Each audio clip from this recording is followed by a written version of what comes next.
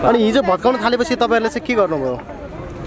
अँ तैँले सामान निकालेको पसल त बन्दै थियो होला है तपाईँको? बन्द थिएन खोलेको थियो बिहान। सामान अनि जेसिबी आएर भत्काउन थाल्यो? म उता उता सुरु गरेपछि नि आफ्नो सामान निकालेको।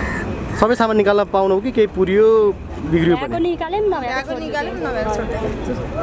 त्यस्तै अरू पसल चाहिँ भ्याएन सबै त्यो पछि डोजर लाएर पुरै भयो। अरू सामानहरू ऱ्याकहरू त अरू त त्यस्तो केही निकाल्न पाउनु तपाईँले टाइम माग्नु भएन? तपाईँले ठेकेदारसँग चाहिँ कुराकानी गर्नु भएको थिएन? ठेकेदार जस्तै विवादको कुरा आइसकेपछि अब के हुन्छ भनेर सोध्नु भएन। तपाईँले ठेकेदारले जोसँग लिनु भएको थियो। कतिमा किन्नु भएको थियो? बस्नलाई कति वर्षको लिज थियो नि? तिन वर्ष भने हो। कति तिर्नु भएको थियो सलामी चाहिँ? भाडा चाहिँ कति तिर्नु महिनाको साठी हजार?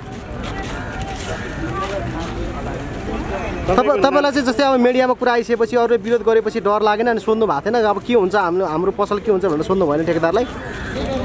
सोधेको भत्किँदैन भन्नुहुन्छ क्या? भने त जति सोद्धा त्यही भन्नु।